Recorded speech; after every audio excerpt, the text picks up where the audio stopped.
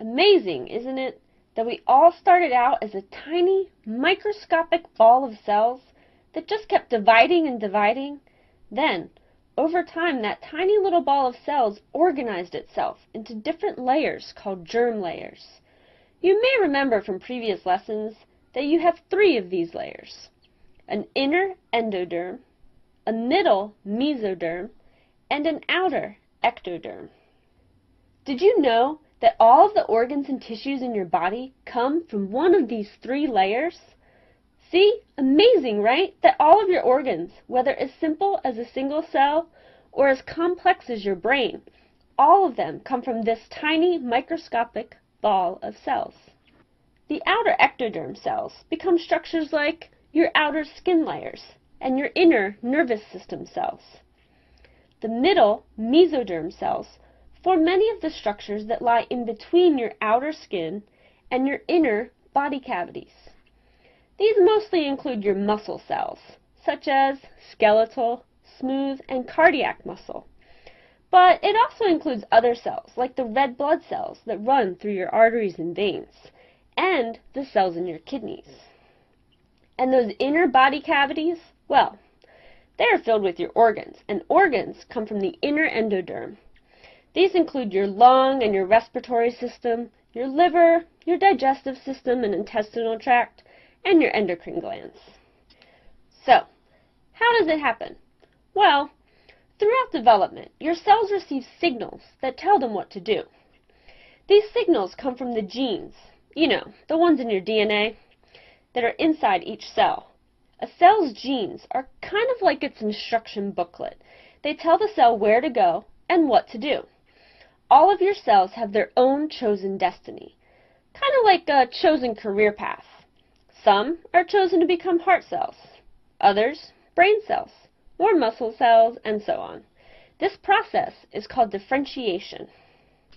Differentiation is the process during which a non-specialized cell becomes specialized.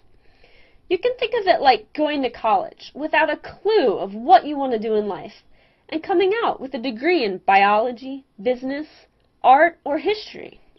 You went in unsure of your path and came out with a specialized degree that will shape the rest of your career. That's kind of like how cell differentiation works.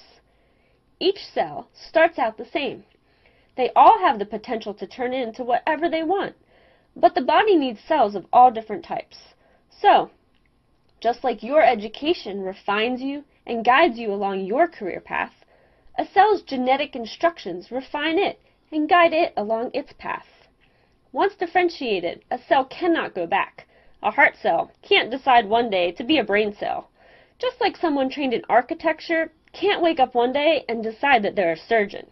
The architect lacks the necessary training, just like the heart cell lacks the necessary structure and shape to function in the brain. Okay, so once each cell has gotten its instructions, then what? Well, following the process of cell differentiation, comes another process called organogenesis. Organogenesis is the process by which differentiated cells organize themselves into tissues and organs. This starts as early as five weeks after conception in humans, when the developing embryo is no larger than a sesame seed. Don't worry, we aren't going to go into too many details. After all, this can be a very complex topic. I mean organ development, and you thought just learning how they work was hard enough. Instead, let's take a look at the developmental timeline. When each of the major organ systems in your body develops over those nine months you sat in your mother's womb. We all know that gestation takes about nine months. These nine months are divided into three parts or trimesters.